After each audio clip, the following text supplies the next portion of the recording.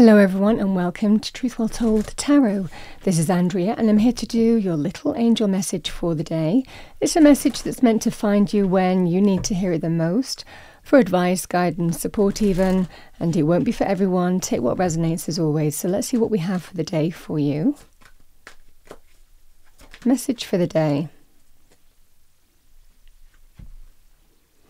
We have the Five of Swords.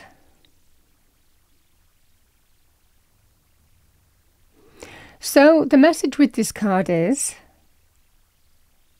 you may have been through a difficult process, a difficult conflict or battle, but this card is an indication that you are going to win.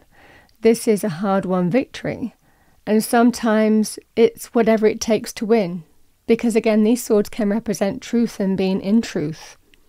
So this can represent there may well be winners and losers, but a victory is coming your way, and it will be a deserved victory because it's certainly not been easy to, to achieve that. If you are pulled into conflict, arguments,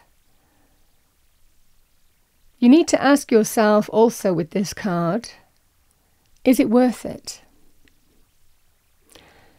Because, again, the Five of Swords, these swords can hurt, these swords can cut. Uh, and sometimes with the Five of Swords, we need to ask ourselves is it worth getting involved in this situation? Is it worth letting this situation continue? I mean, again, it can be a situation that involves conflict because sometimes it costs us more than we thought it would at the beginning of this process. So sometimes we have to ask ourselves is it worth the conflict? Is it worth the hassle? Is it worth being involved in this situation? And sometimes looking at removing ourselves from situations that don't serve our highest good. That can be the energy here with the Five of Swords. So that's what I have for the day. I hope you enjoyed your message. If you did, please do like, share, and subscribe. I wish you a wonderful day. I will see you next time.